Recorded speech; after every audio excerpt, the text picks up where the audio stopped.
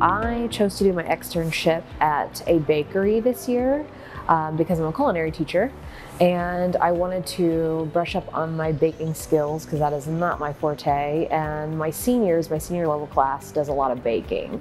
When I got here at 6 a.m., 6.30 a.m., we would get the pastries for the morning rush ready. So that would consist of um, pastry rolls that would, would turn into fruit-filled pastries.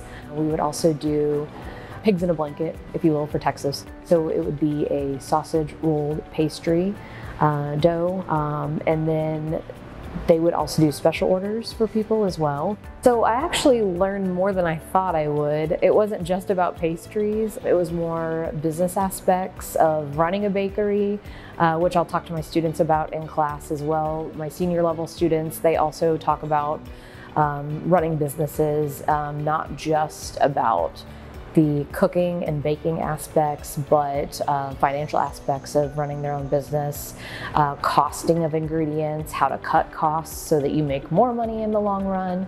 Um, so we talked about that a little bit this week as well, which will actually benefit them.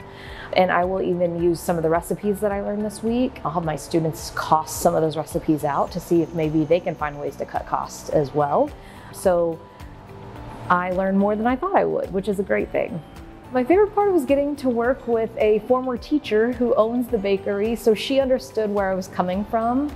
And she also was a great teacher for me because she knows how to teach as well. And so she knew how to incorporate some of the elements that I wanted to learn into translating that back into my students' learning.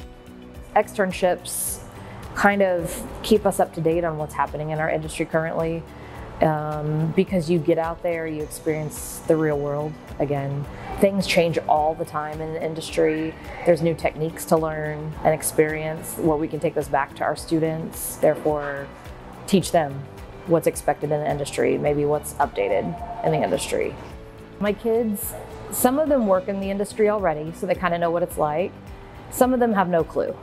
so, to kind of brush up on my real world real world, we say, industry skills. Um, I think it's really imperative to keep up with that so that it translates back to them because they some of them like i said they have no clue what they're getting into so to take those real life experiences and be able to give them stories to relate to i really feel it benefits them more so than me just talking about you know the abcs and d's of here's why we do what we do.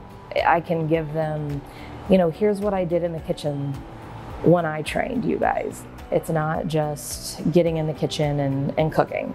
It's so much more than that. Um, and, and so until I have those experiences and can tell the kids about them, they're not going to relate to that, I guess.